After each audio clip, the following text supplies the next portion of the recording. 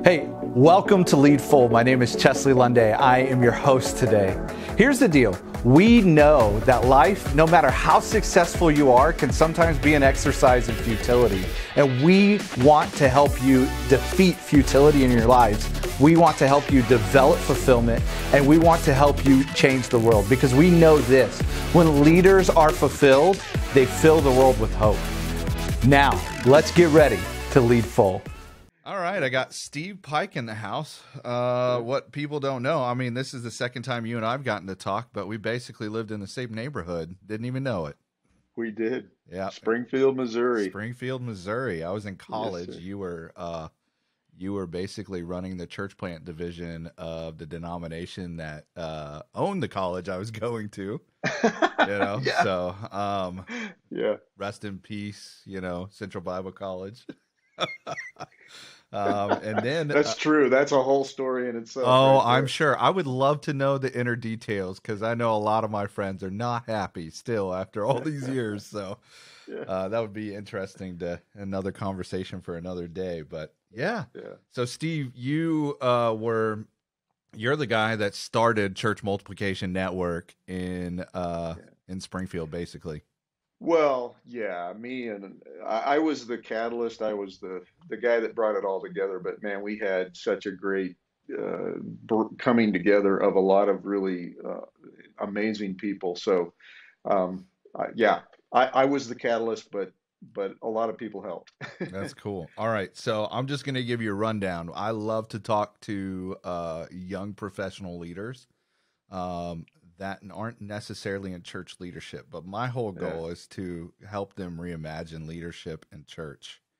Uh, and what impact looks like, reimagine work, and so Cool. especially from the Christ following um, Yeah. aspect, and I, I, I feel like this um I you know I try to do a business and a creative uh, interview but church is sneaking in because I'm finding that there is a need for another way of thinking about following Jesus in the 21st century.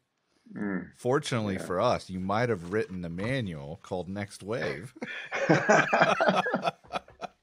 um, and so yeah i've been reading through it you talk about what 12 shifts that the Yeah. church has to make to be Yeah. uh to be relevant and impactful in the 21st century and man i would like to I, we don't have time to hit all of them but i would like to hit a couple of them that i think Yeah. are super important um yeah.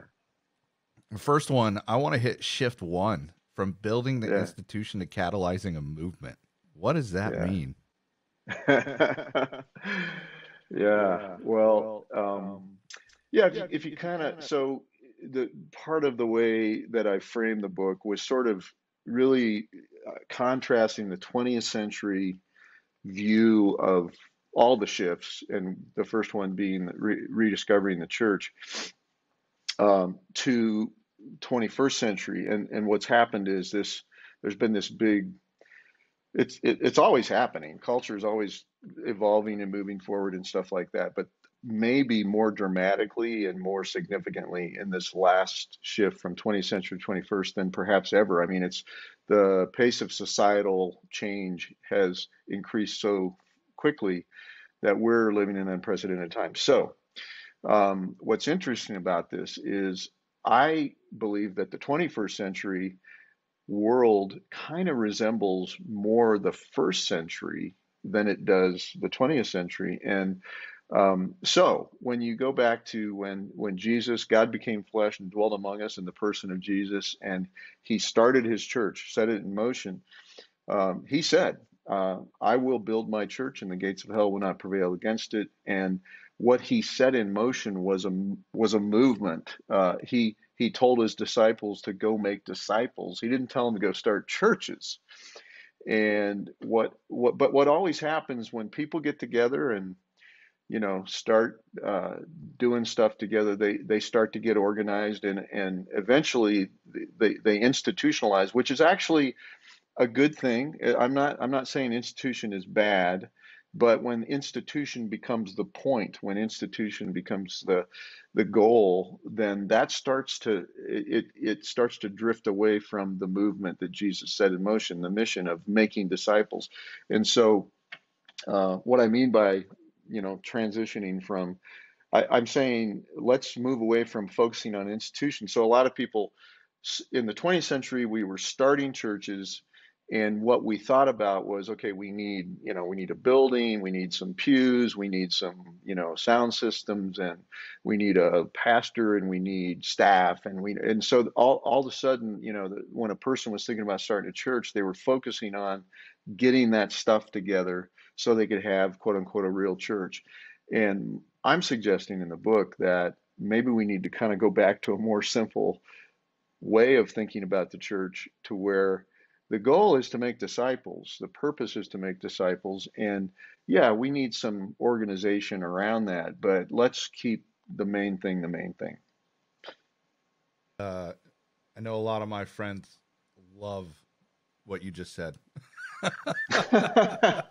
uh, I I have been working in a church for a decade, so all my friends that are in church with me might not might not because that's where they get their paycheck. But all my friends in business or you know actual leaders out in the marketplace, that's that's music to their ears.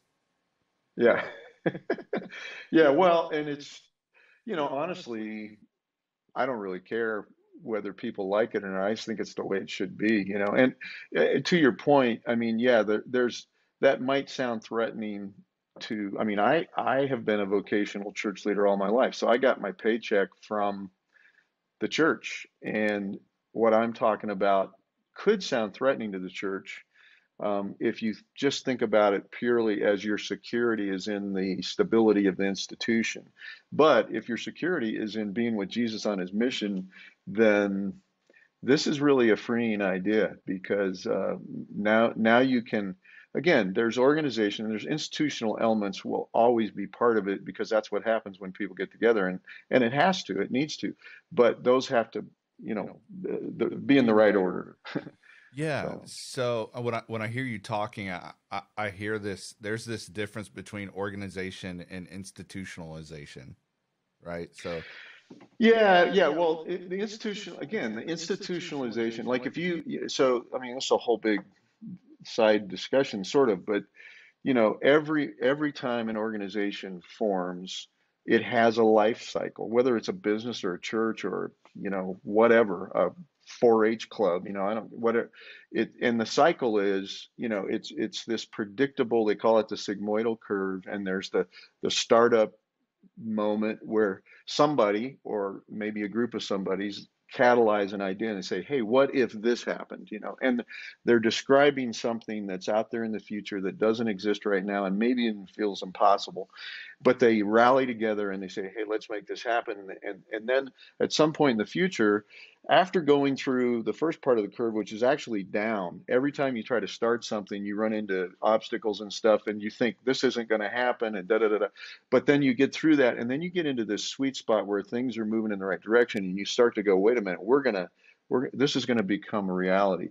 And at some point in the future, you hit that that goal, that thing that you were talking about, that you're dreaming about together, back at the beginning of the curve, and then what happens without intervention. Every organization goes into kind of a plateau. It's like you hit this equilibrium where everything's clicking and everything's great and you've you're living the dream so to speak and then you sort of plateau because there's nothing pulling you further and so you you know it's you you sort of hit this rest thing and then eventually you're going to start going down the other side of the curve into decline and eventually death and so every organization follows that pattern without intervention. Um, and and so the problem is if you if you sort of accept that is I'm just gonna that's okay with me. That's when institution becomes toxic to the mission of the organization because then you just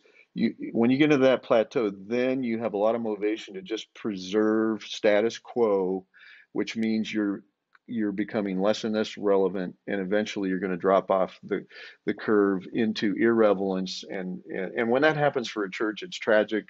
When it happens for anything, it's tragic. But uh, that that's that's what. Um, so organization is necessary. Institution for, for the, the, sake, sake of institution, institution is, toxic. toxic. So yeah, so institution for the sake of institution ends up on the second half of that curve, and uh, yeah, yeah, yeah, um, yeah, and that's, and that's so. What, so you, have you have to do is you have to start a new curve. You yeah. have to look, at each other and go, okay, hey, this, is great, this is awesome, but where are we supposed to go now? What are yeah, we supposed we got to do now? Infuse new vision and a new preferable yeah. future into the life of that organization. Exactly.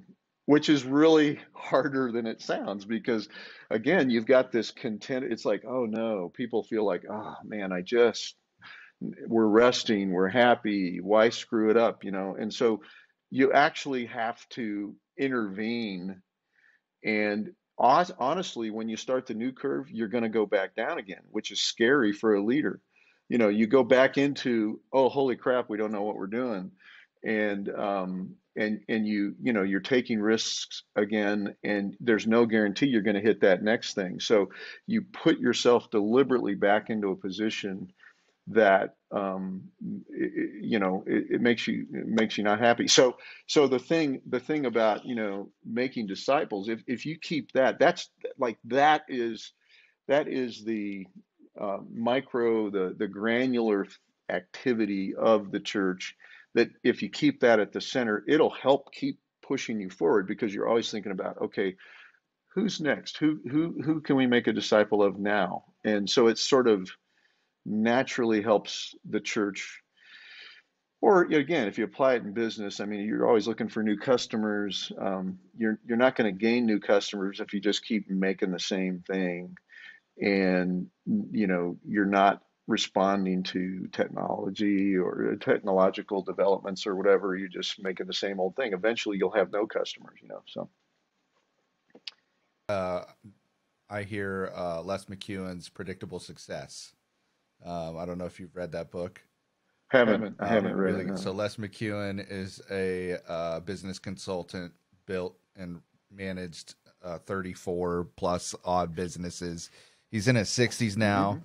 Uh, he's a, I think he's Irish, Irish. Uh, so.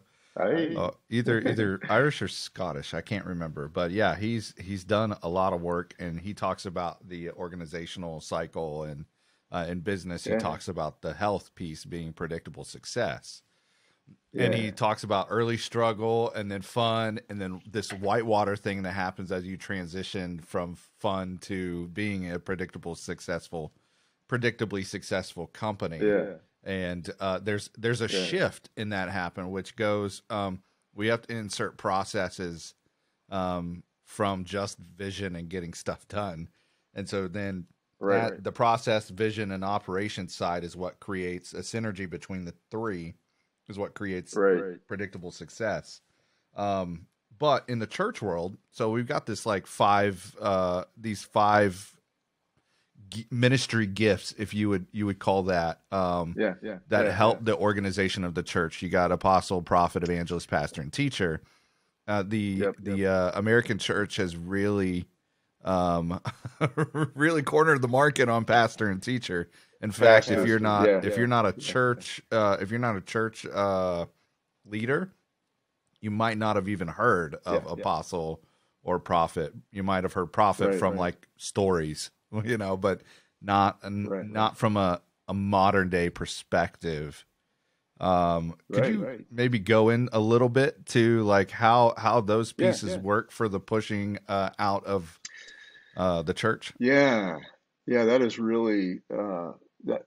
It's it's actually incredible that you know that that whole idea was was was really introduced way back you know in in the you know 2000 years ago and it is so powerful and it has so many applications so you know you have your five your five things which is apostle um, Alan Hirsch calls them APEST, which I think is kind, of a funny, funny. Uh, yeah. Name. And, and, Peyton and, Jones calls it fist it, leadership because he talks about each one of the fingers being on it. Okay. And he's like, hey, yeah, he, he's more he's more our our style comic book like. yeah, yeah. Uh, lingo's a little bit better. Sorry, Alan, you're a yeah, little yeah, older than than Peyton is. okay. So anyway, so you you know the the apostle is is the catalyst kind of a person. It's the person who sees what could be. Yeah, almost like a really spiritual entrepreneur, if you will. Right? Yeah, yeah, and and call yes, and calls people. Yeah, it's it's somebody who yeah. It, I think a big piece of the ap- apostolic um, deal is it's just it's a person who's discontent with status quo and also is is adept at seeing opportunities um, that could be. So for the church that means the apostle is going like paul you know he's kind of in the in the bible he's the uh, the most um, uh, well he wrote a good part of the new testament. Anyway at one point he goes i've pretty much done everything i can do here. I need to go to spain. And spain was like the the barbarians of the world at that point. It was the scary, undeveloped part of the world. And he's like, I want to go there, you know. So that's the apostles. Like, I want to go to this scary place, whatever that may be. It's also like the apostle have... to say, I'm done here when he had only planted like uh, three churches of like 12 right. people. exactly, exactly. Because, because he, understood, understood what he yeah. did set something in motion. Yeah. That's that movement. That's good. I'm good. Yeah. Yeah. yeah. Yeah. yeah. Yeah. So, so, I've already got the movement going. I don't need to stay here. And, you know, in fact, apostles probably uh, don't like hanging around. Uh, they hate the institution because it's boring to them. It's like, hey, let's go start something new. So that's the apostle. And, you know, every organization needs that voice to keep them from getting stuck because uh, maybe jumping to the other end of the spectrum, you have like the teachers or the, the, the pastors. And, you know, the teacher is the person who's, you know, injecting knowledge and, and ideas and wisdom and, and they're they're learning from everything and then turning it into um, you know seminars and sermons and whatever. And then the pastor that gifting is is the person who brings the care the you know like i want to help you grow in your faith in christ and i want to you know walk you through the challenges of of your your life. And um, and so those there's actually this kind of tension between apostles and those you know the pastors and and the teachers because um, you know they're the pastors and teachers want everything to just kind of be calm and you know peaceful and they're working on these projects with people and they're teaching them and, and they just they want stability. And so there's this there's this tension and and it's a good tension because obviously if if all we're doing is running around chasing after the next great thing we're going to get uh, you know way out of balance and and people are going to get run over and chewed up and spit out and stuff like that. So that's why but then you have you have the prophets and the evangelists. And um, you know the prophets are those truth tellers. They're the people who go wait a minute, can't everybody see this really messed up thing about whatever's going on or whatever? So prophets are, are, are the truth tellers, the truth speakers, the proclaimers. They, they say what needs to be said. And they often, you know, actually irritate everybody around them because they're, they're saying out loud what people are thinking but are afraid to say that kind of stuff and, and, and again, you can see the value uh, for a robust organization to have that voice. Uh, they're kind of like the protesters and the demonstrators uh, of the church or the business or whatever that are just not they're, they're, they have this pure burning passion to to make truth uh, uh, obvious, obvious, to everybody. everybody. And then so the evangelists helping. are the. Oh, go ahead. Sorry, sorry. Uh, well, I was just going to say the, the, the, yeah, yeah. Go ahead. Go ahead. they're, was, helping, they're helping. What were you? What were you? I was thinking, uh, they're they're the prophet is like recalibrating the church, right? So they're always recalibrating yeah, yeah. back back to true north. Right. Right. And so right, we right, would exactly. take that as a like, gift. Wait, that's super we're, important. So we're not going off the rails. Exactly. Exactly. Yes, that's right. Yes. And then the evangelist is a person who's like completely discontent um, they're they're more. I, I would say the apostle is more focused on like the big picture, and the evangelist is more focused on people, on individuals, and thinking about you know how who's missing, uh, who who in our world around us, in our in our neighborhood, in our in our city, in our community, whatever, who who are the people that are are not, not yet following Jesus, and how can we help them meet Jesus? And again, maybe the evangelist could be in the in the business world analogous to maybe a salesperson, you know, who's like, all right, who who hasn't you know who hasn't bought this yet you know who needs to know about these i heard about you know the shoe salesman. They they both went to the and it, so here's the, the, the evangelist is the person who has this this picture. There's two shoe salesmen. They go to they're sent to this region by their company, and one of them writes back and goes, "Man, this is," and they're shoe salesmen. And one of them writes back and says, "You know what? The, nobody wears shoes here, so it's impossible to sell shoes here because nobody wears shoes here." And the other guy writes back, "Hey, this is awesome. Thank you for sending me here because nobody wears shoes. Everybody needs them you know? And and the evangelist has that perspective. It's like everybody needs what we've got. And and so this you, you put those five things together and it's this really cool sort of balance of and tension between all those different things. And that's the beauty of god's church and there's probably some application to just about every sphere of of um, organizational structure and leadership. Yeah, so there's no locus of power in any one of them, right? So whereas in a business right. world you have the CEO that's basically obviously you have the board above them, but the CEO usually calls the shots. With this right. model, you're not talking about a uh, you're really not talking about someone is in charge.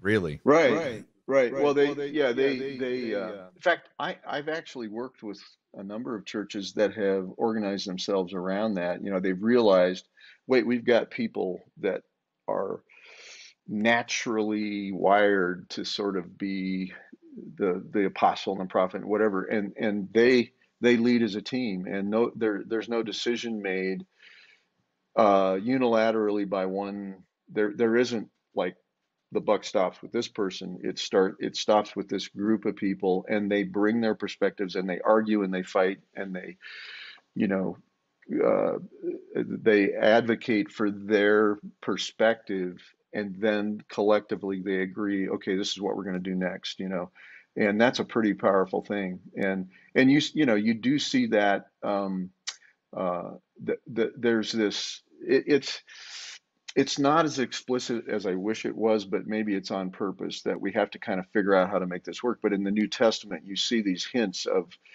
you know, Paul interacting with other people, and he's a pretty type A kind of a guy, but um, you see him letting those other voices come into the mix and motivate and care about what's going on. So anyway, it's a good, good, good, uh, good point. Good point. Yeah. Um, let's go to shift three because uh, this is one of the other questions that I think uh, um, leaders that are outside of the church uh, they're they're asking. They're wondering what churches are doing about this uh, uh, for for a variety variety of reasons, which is reinvent funding from self sustaining to sustainable. So, what does it look like for the future church uh, with funding? I guess you're saying there's a movement away from the whole tithing perspective? Well, I think there needs to be.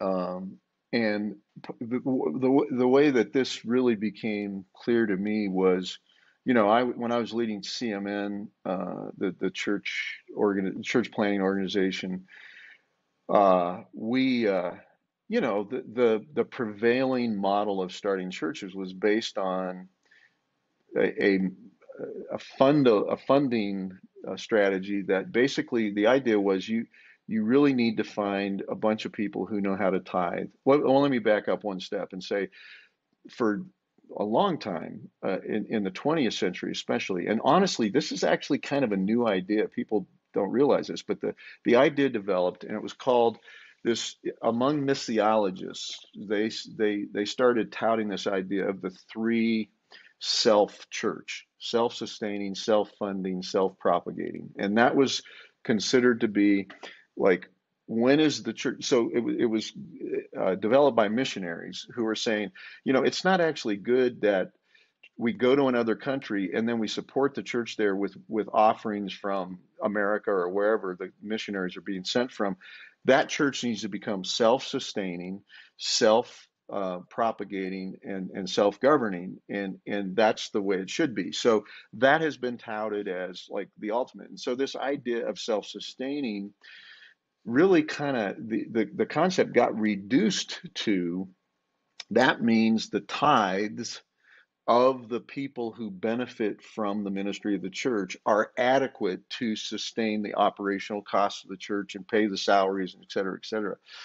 And so this idea became strongly embedded in the 20th century church. And so every time we started a church, we were thinking we got to, you know, to do to for this church to be viable, we've got to find people who can who are tithers and and you've got to have like this critical mass and and that number sort of became 200 sort of that was the the the, the target for most church planters were told hey if you get 200 people there's going to be enough money flowing from that to you know pay the average operating costs of and so everybody was trying to launch quote unquote launch with 200 people.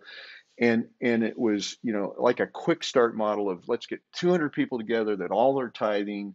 And then you know your your family's going to be fed the bills are going to be paid whether it's paying the mortgage or the rent. And the operational costs of the church are going to be covered by that tithe and offering thing.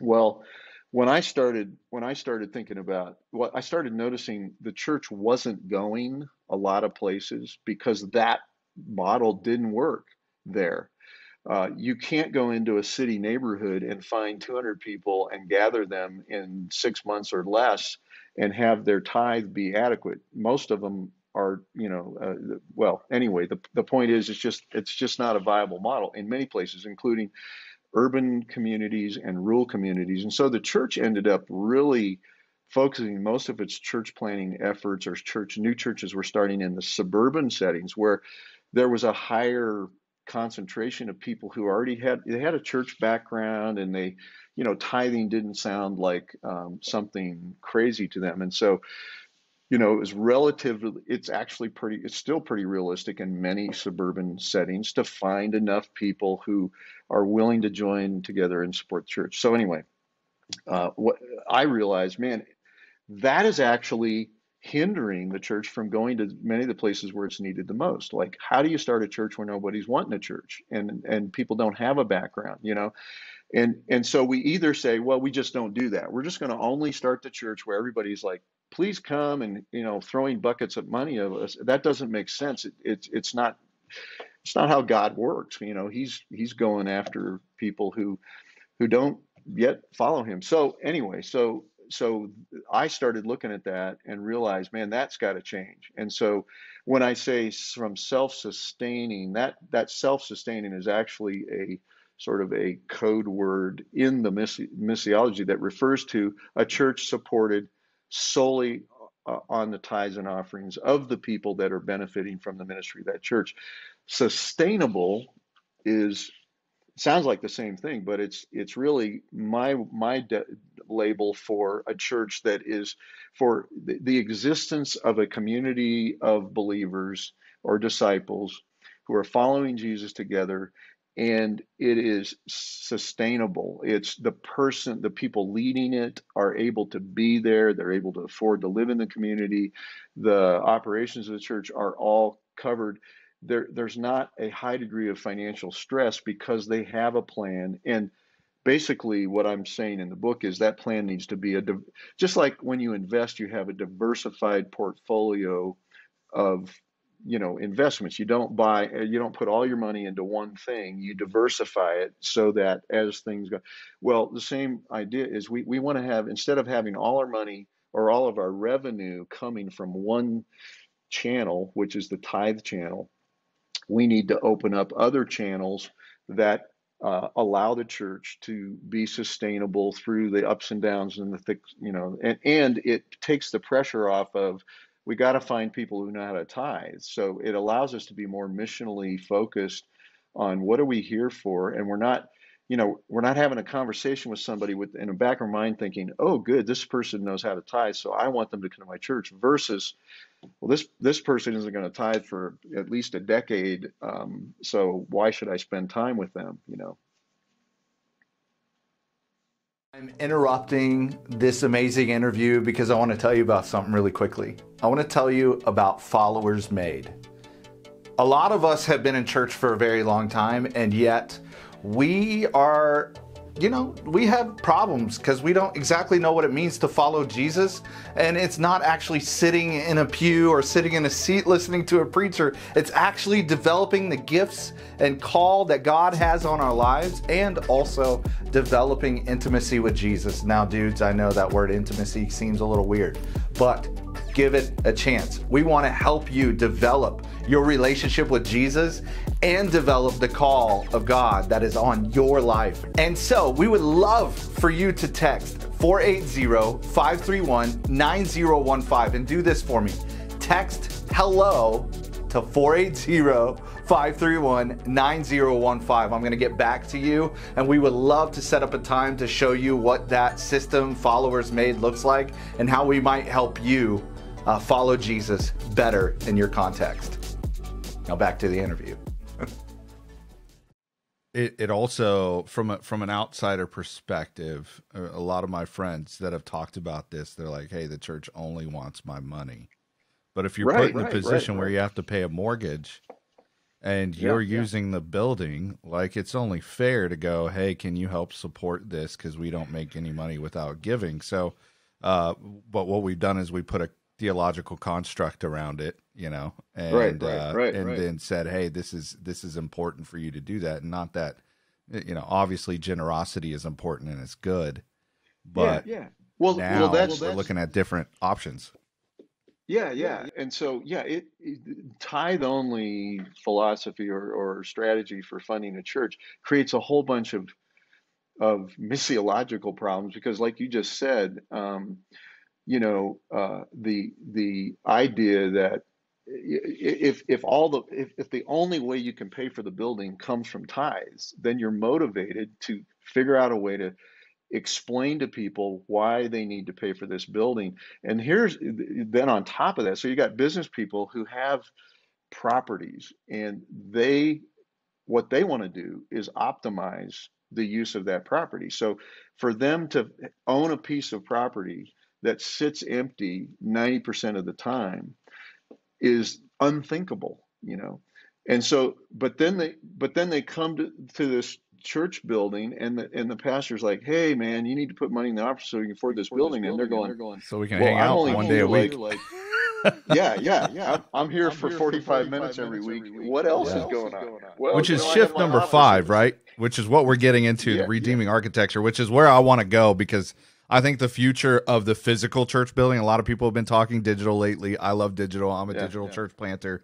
I think the yeah, uh, I think the future is hybrid, but you're about talk you're what you're re- ready to get into is like redeeming architecture. And I think this is a fascinating subject, some things that I've been talking about with uh, other people to how do we utilize this monstrosity of an, a building 7 days a week instead of just yeah, one. Yeah. And so could you could you uh, uh, obviously you are already going there, but I would love to dig into that. Yeah, yeah, yeah, yeah. So I remember when I was a kid, I guess we actually lived about a block away from the church that we attended, and I was a I had a newspaper route. You know, I was a little entrepreneur guy, you know, making money, and uh, and so my route on my bike, you know, I've got my bag full of newspapers and I'm delivering them to people. And I and I I had to go by the church building. And I also I play the piano, and you know they had this big grand piano in the sanctuary of this of this church. And you know usually somebody was there, the secretary or somebody was there, and I'd go into this building and say, hey, can I play the piano? And I go in there and I'd pretend like I'm in Carnegie Hall or something like that. But anyway, I remember. I remember sitting, being in that big empty room, and every day uh, and thinking, man, we're only here. Of course, back in the day, the quote unquote normal church, you went Sunday morning, Sunday night, and Wednesday night. So, so at least, at least we were using the building three times a week instead of once a week, you know. And uh, but I, but I remember thinking, why this is crazy. This is big because they had to heat it to keep the, you know the pipes from freezing and stuff. So they're spending all this money for this building that's empty most of the time. So I remember even then it was it was ironic to me. Um, and so, you know, one of the, and, and that's part of the institutionalization of the church is we started thinking it has to be a building um, and we have to own it and all that kind of stuff. So um, when I talk about redeeming the architecture of the church is uh, really, you know, people say it all the time. The church is the people, but then we really, we actually call the building the church. You know, we say it's, we, we look at this building, we say that's the church. That's really not actually true. That is a building where the church meets, you know. And and it sounds like I'm splitting hairs, but it's really a big deal is if you find yourself referring to a building as a church, you you don't understand what the church actually is. It really is the people of God gathered together for a purpose. Ecclesia, the called out ones, people called out for a purpose. That is the church. That's what Jesus is building.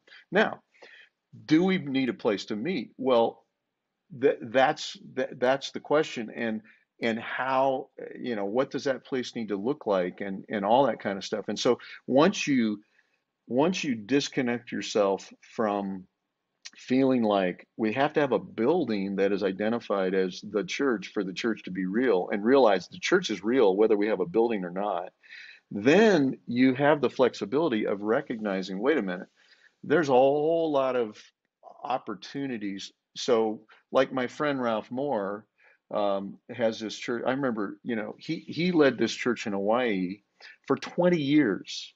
And for 20 years, and I mean, it went beyond that, but for the first 20 years of the church, they met in a, uh, uh, uh, a cafeteria of a grade school. And they grew the church to 2,000. And the only way they could do that was they had like six or seven services back to back to back on the weekends in that same little tiny space. It would seat about, you know, three to 400 people. And so they did it five or six times and they just like kept ro- rotating it out. But the point is they, so the church was, they, they didn't, and they, they had a relationship with that school. Um, and they finally, they, he just, they got tired of having to, you know, do all the setup and tear down. And he thought, you know, let's try to find a place to have a more permanent place and a bigger space so we we can we can have more people. So they ended up it's Hawaii, so land is pretty scarce there, um, and they couldn't find land they could afford anywhere. So they finally made a deal with the Catholic Church to lease property for 30 years to build a permanent building on. And somebody said to him, Ralph, what are you going to do um, in 30 years? And he goes, I don't know. I'm probably going to be dead in 30 years. He said, uh, it's not, it, he said, it, that's for them to have faith. Uh, and, and, and so, so many times we, we flip it around. We go, oh, we need to build this building that will be a legacy for our children. You know, well, your children don't want your stupid building. You know, 30 years in the future. It's it's out of date. It needs new wiring. Yeah, it's it doesn't even serve the purpose. And so we've been building these one purpose buildings and stuff like that. And uh, so once you start realizing it really the church really is the people then you're free to just say well wait a minute. It's actually not necessarily bad to have a building if you use it well. And so what's happening now is many churches are beginning to say wait a minute. How can we optimize this? How can we how can we actually you know one option is use the building um, as a revenue generator. Uh, you know, uh, for you know, you, there's co-working space. You, you, can have little businesses and stuff in buildings.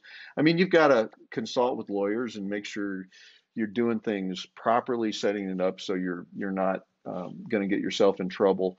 But it can be done. Um, none of this is easy, but it can be done. So you know, you have coffee shop churches. You have, but the other thing Ralph planted in my brain was the idea that the architecture of the church is not limited to what the church owns, but it can also be you, you think of all the people that are part of the church that own homes and own property themselves and own businesses and stuff.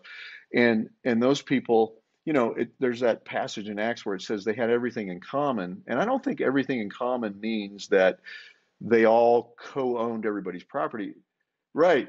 It just it what it what it meant was that they viewed what they had as something as as a tool to be used for God's kingdom, you know, and and so you know that all of a sudden it's like, well, we don't really need to build class space. We can just you know get in a circle at Johnny's house, you know, or whatever, because that's part of the architecture of the church. And all of a sudden, the architecture of the church becomes everybody's house and everybody's you know warehouse or whatever everybody's business and then oh yeah and by the way maybe we do have this this place we own in common or we rent in common but you know uh, nowadays churches uh, are are doing things like you know deliberately buying storefront property not to have their worship gatherings there necessarily but to have a a place in the community like a third place where people can gather for co-working or drinking coffee or whatever i mean there's just now that just blows open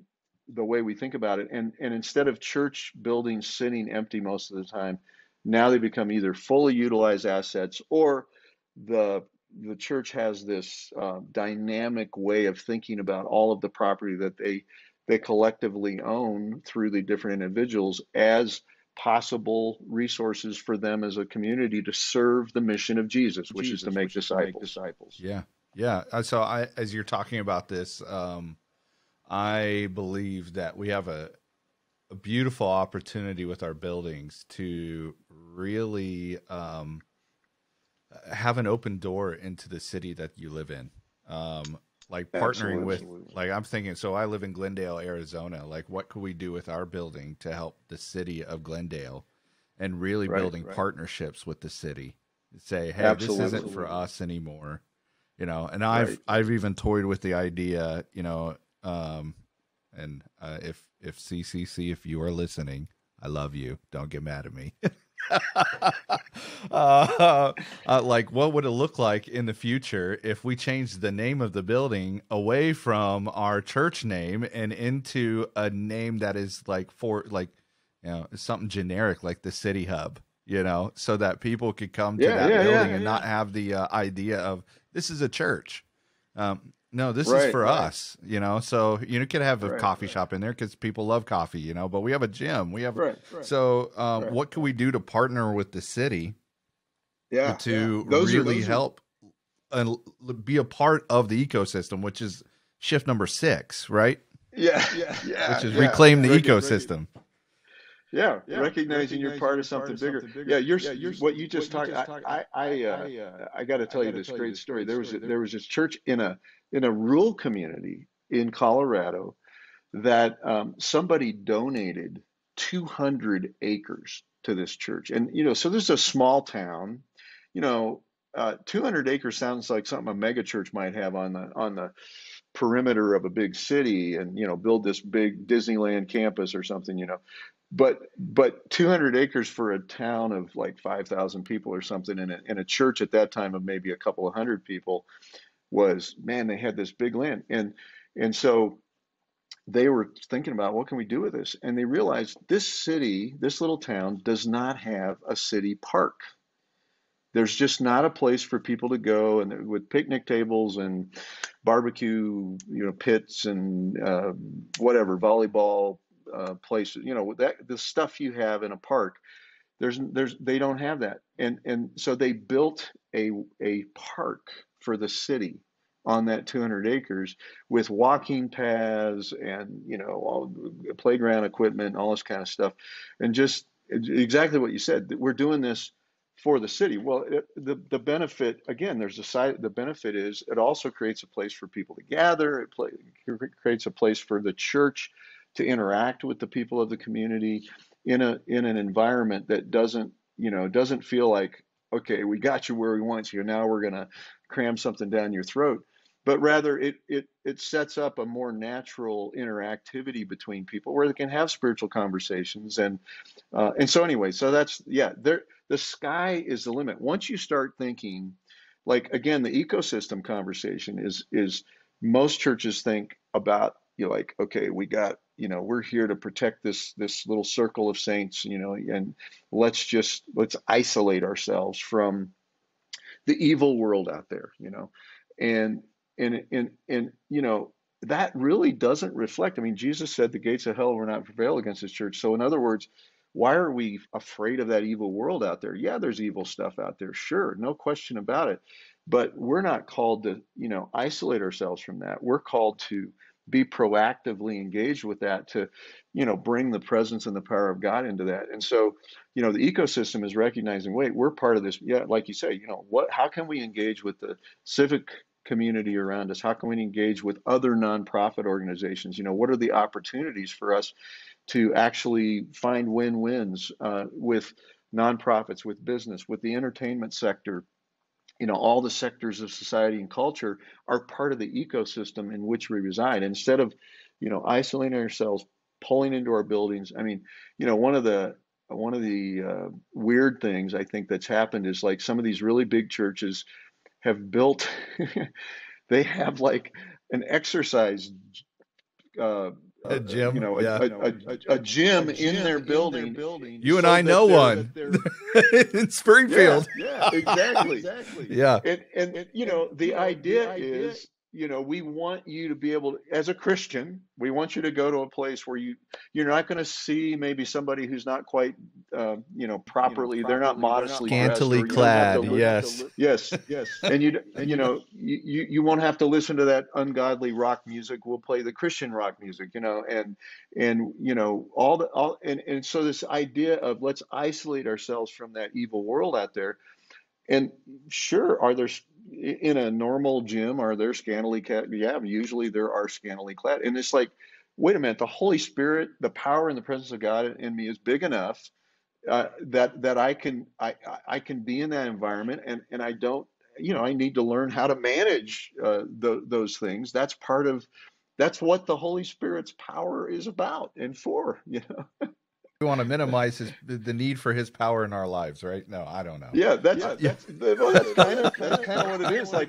you, you know, like a good Pharisee. Enough, so yes. Help you. Yeah, yeah. You know, we don't need God. We can do it ourselves. Yeah, we, no. we, we, we, we'll just we, we'll, create this big safe place, and you know, yeah, eventually, you know, you have to go out there in the evil world, but most of the time you can just spend here. You can, you know, get your coffee here, get your this, get you that. Yeah, that's the other thing. Like these coffee shop things don't don't start a church coffee shop. Start a really good coffee shop. If you're going to do a coffee shop, yeah, like make the best coffee in town that people want to, and and and then that becomes a place where you can meet up with people and have conversations and you know whatever. Yeah, whatever. I'm really intrigued by the this partnership, this collaborative idea of uh, like I I love capitalism as far as uh, being able to provide goods and services to other people, right? Yeah, um, yeah, yeah. I think yeah, I think yeah. capitalism at times gets a bad rap because just like anything, all models are flawed. Some are useful. yeah, and um, yeah, and also you you you've got these core values and these ethics that people uh, end up like tripping over or disregarding completely, but um, this idea, like there's a coffee shop, obviously this is unpaid advertisement for Black Rock, but uh, you know, I'm thinking about like, how could I get Black Rock to partner with our, in our building? Like yeah, they can, yeah, they can run yeah, a coffee shop for much cheaper uh, rent in my building right, than they would right. somewhere else. And we can partner together. Yeah, You said something, you know, I, I'm really intrigued by helping the city do things, but because I know that you know they have investment dollars that they're always trying to make the city better mm-hmm, and mm-hmm. more uh, more friendly to business and uh, business mm-hmm. really helps the city thrive if it's done right and yeah, um, yeah. so many times the city doesn't see uh, the church as a net positive they see it as a net negative right, because right. they lose tax revenue they lose right, uh, and we're uh, we isolate so we we're not even helping the city from a from a social standpoint um, right, right. So they don't see it in terms of good ROI, return on investment, right? right? Oh yeah, oh yeah, right. And, and, so even and and we'll we say this all the time. We're we're for the city, but why not work with the city instead of be for the city? They'll feel right, like right. you're for them if you're with them, you know. and so, what can we do to really partner with them? To do yeah, things yeah. that hey, they're saying this is what we really need, and they have a better pulse, I think, on cities and communities than even we oh, do because oh, yeah, that's their full time job. Well, and you, you know that's that's where it starts. What you just just they know like where the gaps are. They know they're getting calls and emails and diatribes from people about you know we don't like this and we don't like that. You need to do something about it. So, I mean, all you have to do is talk to a city leader and say, you know, what are the pain points here, and they're going to tell you. They're going to say whatever it may be, and you know, then then you can say, okay, let let's think about how we can. And then you go back to them and say, hey, what if we did this? You know, uh, and maybe it's a horrible idea, and they might say, yeah, that's not really going to help. But maybe it's a great idea, and they go, wow, if you guys did that, that'd be awesome. You know, so the point is, you know, one of the worst things that churches do is we decide what we're, you know, we're isolated, and then we think, oh, what if we do this? And we we just go do something and nobody's helped by it, and it's just irritating. Um, but instead, you know, uh, create a dialogue, listen and listen, listen, listen, listen. Like like when I'm coaching somebody who's getting ready to start a new church, I say, you know what? Don't even say a word for the first six months except to ask a question, and and the question would be something like, hey tell me about why you live here or you know why why did you start your business here or why, why are you you know a part of this community? Listen listen listen and as you listen you're going to hear stuff where you realize wait that's a place we can add value. Um, and and the church brings unique value into situations. Like just one simple example would be you know sometimes you know cities put on these whatever festivals or something street festivals and they spend city money to create a place for people to gather and you know they have vendors and all kind of, they, they figure out a way to try to make it pay for itself but it ends up costing them something. And one of the things they often need are people just to do logistical stuff set up tear down you know whatever. And and that's just a low bar kind of place where a church might actually say hey we've got some volunteers. We'd like to you know bring bring people and be involved in that. No no charge no deal. We don't have to have our logo plastered all over everything, everything um, and so, I mean, that's just a like low bar, simple example, but but it can go much more um, deliberate and complicated than that as you get to know these these churches, uh, uh, the, the, city things, and this can lead to other stuff. So there's, you know, um, I don't know. Here's just another crazy example of like there was a, a, a friend of mine that he was a business guy and he heard about a girl that I think was 11 years old or something ended up she um, OD'd on some kind of drug, you know, and and it hit the paper and he read about it and it was close to where he lived and he lived in kind of a nice community. And he was curious about like what is going on I, I don't even know there's a place where something like this could happen. And he so he drove to the community and it was this little in the middle of this affluent community was a trailer park um, where it was very low income and um, people were just you know living on the edge there. And and it was surrounded by these tall kind of windbreaker trees. So it, it was you just didn't even see it. You drove yeah you drove by it all the time. But he had driven by that every day but he didn't know it was there. So anyway he so he's a christian you know he's like well i, I need to do something you know this is tragic that this little girl died. And and, and he realized part of the reason it happened, well, he wondered why it happened there. Even though it's a poor community, it doesn't mean it's necessarily crime infested or whatever. So he got out and started walking around saying to people, uh, hey, I'm, uh, I'd like to start a Bible study here. Well, he's wearing his, you know, suit and tie and he's driving his Mercedes or whatever. And they're all looking at him like, who is this white guy with, you know, I mean, he, he's, he's going to take advantage of us. So he realized, okay, these people are scared of me. So he went back and put on regular clothes and took the bus there and walked around and just said, hey, if you could change one thing about this community, what would it be? And the most common answer he got was all the bad stuff. The reason that little girl died was because between about three o'clock in the afternoon to six o'clock uh, in the evening, the kids are here and there's no adults because all the adults are at their jobs and they don't get home from their jobs. So there's this space of time from about three until six when the kids are out of school, but the parents haven't come home yet, and the inmates are running the asylum.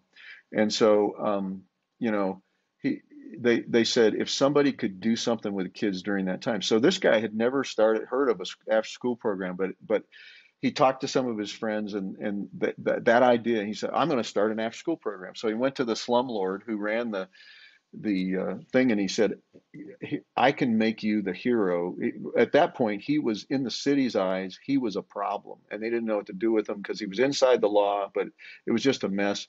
And so this guy went to him and uh, this uh, business guy went and he said hey i can make you a hero in the city but you got to give me enough room to, to put up a um, uh, like a temporary classroom kind of thing. It was basically another tra- a couple of trailers. You know how they put trailers together. Anyway, bottom line is, he got the guy to donate him the land.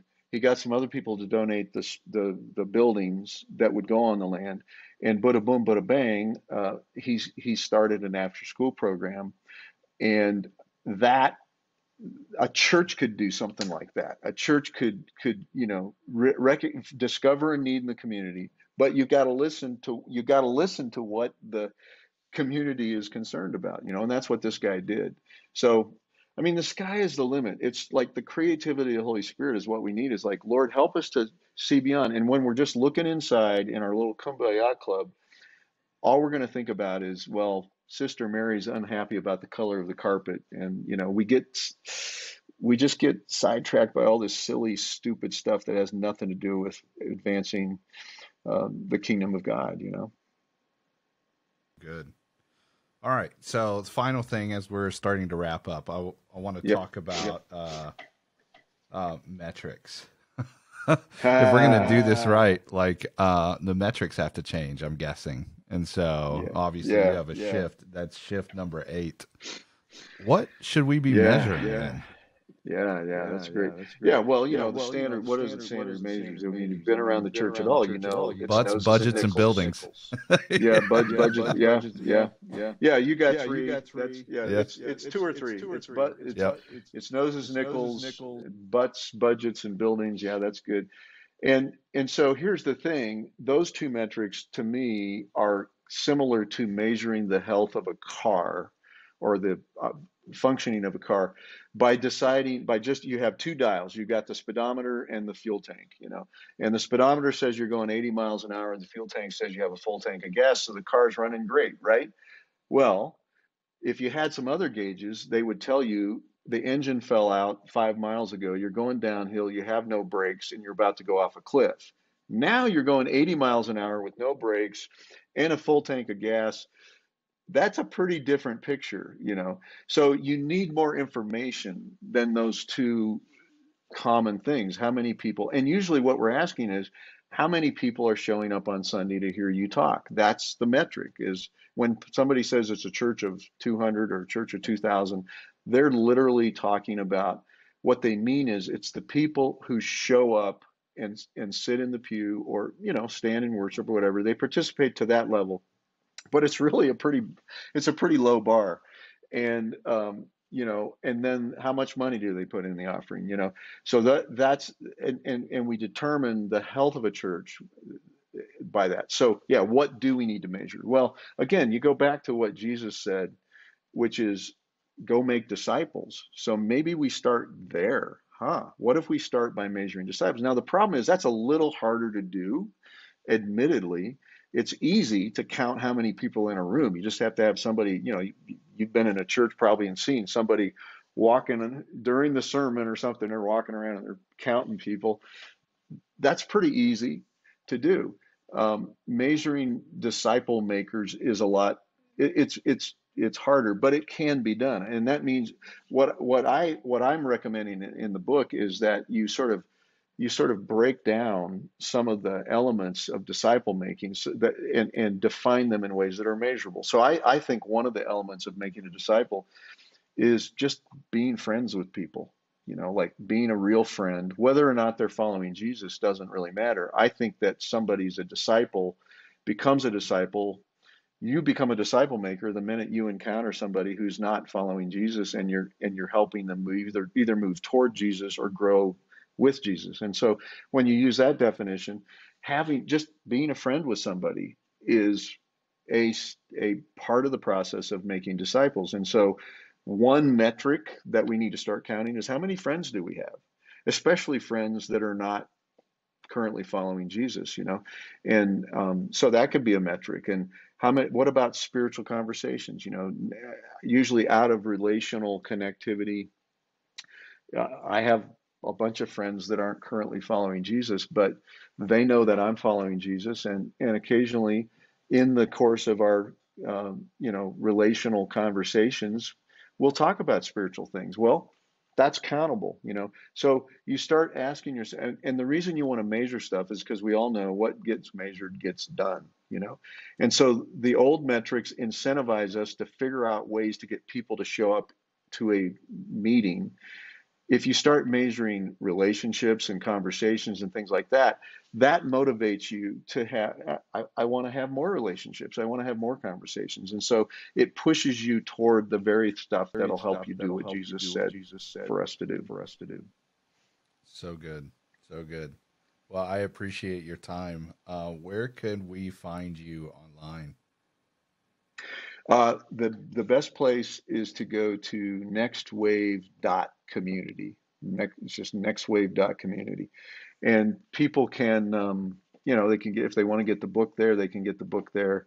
If they want to connect with our, we have an online community called Next Wave Online Community where we're having this conversation 24 uh, 7 via the you know the the platform. And if people are interested in being part of that conversation they can they can join it there. And uh, yeah so that's the best place to go. Nextwave dot community. Community. Well definitely pick up the book. It is riveting. It's a big one but it's a good read. It's a really good read. You did a great job on it and i know it was Thank uh, you. i know you. writing is not easy so uh, So yeah, um, right, I appreciate right. the time to uh, to hang out with me and talk church. I, like I can nerd out on this stuff all day, but uh, I, I think giving us, uh, especially young professionals that are outside of church leadership, a new yeah. picture of what church could be, like that's super cool, and I really appreciate that. So thank you for thank awesome. you for your time. Awesome.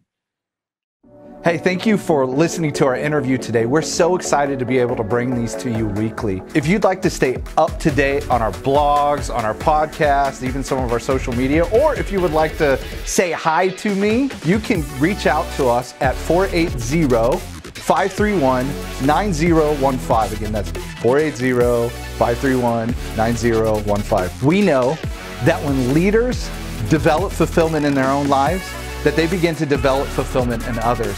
And when fulfilled leaders lead, they lead and develop hope. And the world needs a lot more hope. So here's the deal we would love to see you next week, and let's lead full together.